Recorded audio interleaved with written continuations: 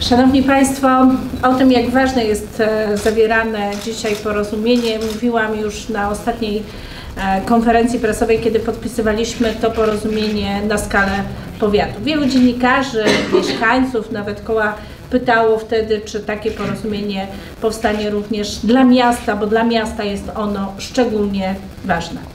Koło zasługuje na dobrego menadżera, człowieka, który będzie chciał tutaj wykonać pracę u podstaw, bo taka praca u podstaw jest dzisiaj w kole potrzebna i tego tak naprawdę oczekują mieszkańcy. Cztery lata awantur e, w strukturach miasta, w ratuszu, między spółkami miejskimi a ratuszem, to cztery lata za dużo. Cztery lata wątpliwych prawnie przetargów realizowanych przez e, szefa w kolskim ratuszu to cztery lata za dużo.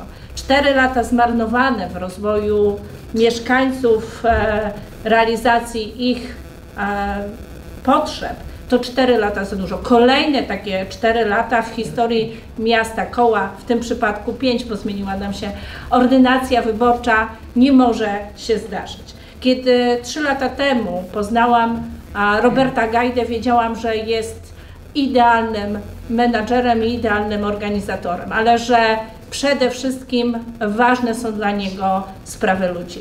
Robert jest e, człowiekiem, który łączy w kole różne środowiska. I to łączenie różnych środowisk e, pokazywał nie tylko dzisiaj w kampanii wyborczej, ale również e, w trakcie pracy przez ostatnie trzy lata.